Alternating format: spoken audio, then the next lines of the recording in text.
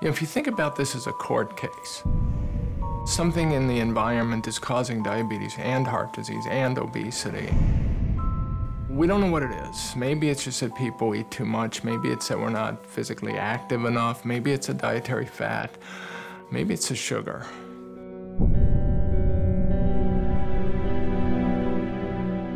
For more than 40 years, you know, probably longer, this industry, it appears, has been deceiving.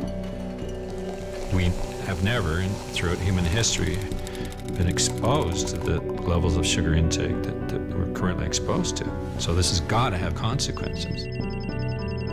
What happened? Why is everybody in trouble now, all over the world?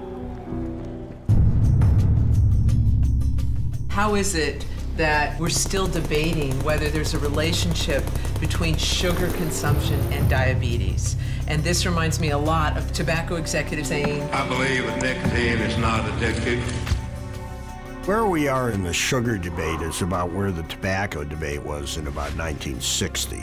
They're all using the same playbook, that they're manipulating science, that they're coming in pretending to be everybody's best friend, but they have a very strong political agenda to protect their corporate interests.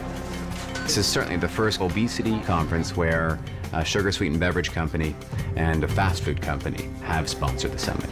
A lot of people this morning have said to me, Why are you here? And gee, it's awfully courageous of you to be here.